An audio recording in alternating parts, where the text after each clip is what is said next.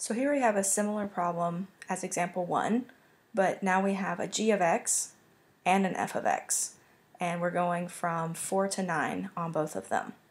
So for, for part A, we can take our f of x and our g of x and split that up into two integrals to make that the integral from 4 to 9 first of f of x, and then we bring over the plus, and, or excuse me, let me put my dx first plus the integral from 4 to 9 of g of x dx.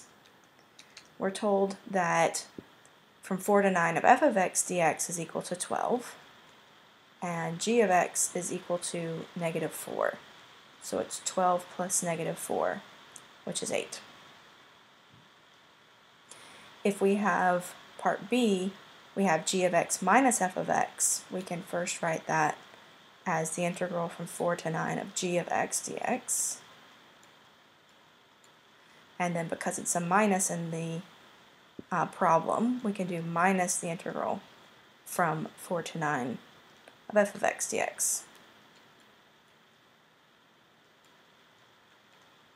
And so plugging in the negative 4 for the g of x integral, and then minus the 12 for the f of x integral, we have negative 4 minus 12, which is negative 16. Just the answer for that part.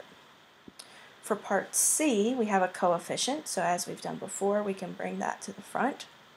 The integral, or 2 times the integral from 4 to 9 of g of x dx. And we can substitute our negative 4 for the g of x integral multiplying 2 times negative 4 is negative 8. And then for part D, similarly, we can bring the 3 to the front, 3 times the integral from 4 to 9 of f of x dx.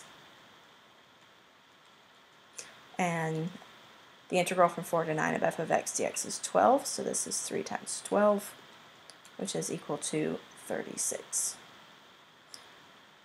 And that's it.